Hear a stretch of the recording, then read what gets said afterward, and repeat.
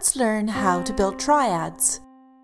A triad is just a chord with three notes. Let's start with something nice and easy like the C major scale.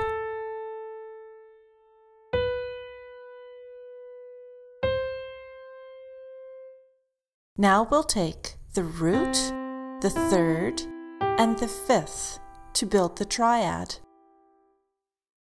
This is a root position C major triad. Now let's build a D major triad. We'll begin with that D major scale.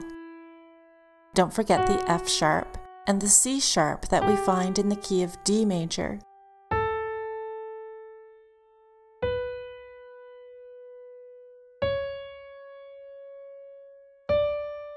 Now we'll take the root, the third, and the fifth. And these three notes are used to build the triad. Here's a D major triad in root position. Let's take a closer look at that D major triad. Notice how we skip three keys and then skip two keys. All major triads do this. To turn a major triad into a minor triad, just move the middle note down one semitone.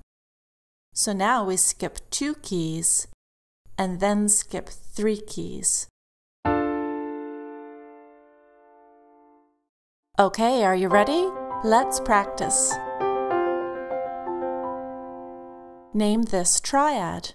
Well, we have an E, a G sharp, and a B. So we skip three and then skip two. That's the key of E major. Now name this triad. We have a C, an E flat, and a G. So here we skip two and then skip three. That's the key of C minor.